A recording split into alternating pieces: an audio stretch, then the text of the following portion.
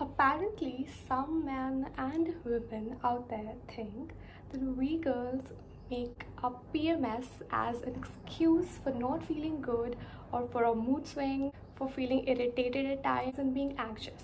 So, for all those people, let me tell you that PMS is real. I'm not a therapist, neither I'm a doctor. I'm just here to make you feel okay about and not panic like I used to.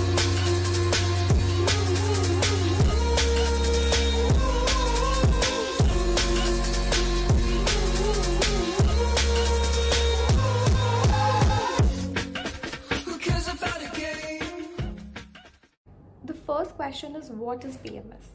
PMS stands for premenstrual syndrome. PMS describes the physical and the emotional symptoms you face around your period. It can be before your period or it can be after your period. The exact cause of PMS is still unknown, but several factors may contribute to the condition. Levels of the hormones like estrogen and progesterone, they keep on increasing during certain time of the month and an increase in these hormones can lead to mood swings, anxiety and irritability. It's basically that time of the month when your mood is extremely off or extremely on. Yes.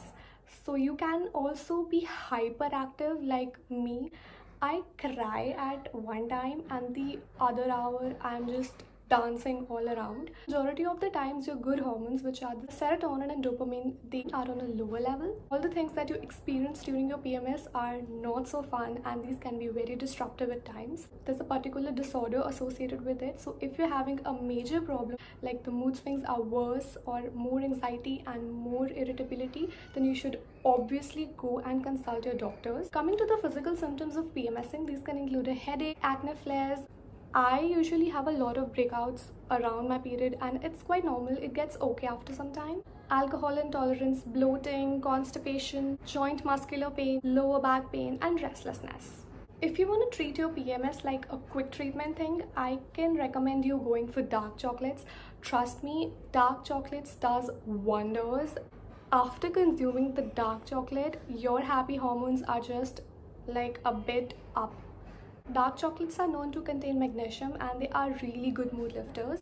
They boast the omega-3 fatty acids which contain less sugar and no milk. Also while PMSing, make sure you avoid food which contains salt or caffeine.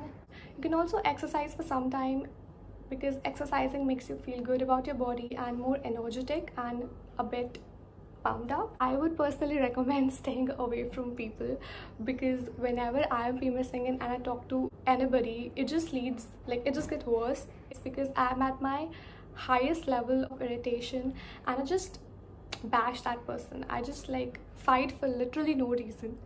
If the conditions get worse and you just can't control yourself, you can talk to somebody you trust, a close friend maybe who doesn't make fun of your PMSing thing and listens to you and understands what you're going through. Otherwise, listen to good music and take some rest or watch my videos on YouTube.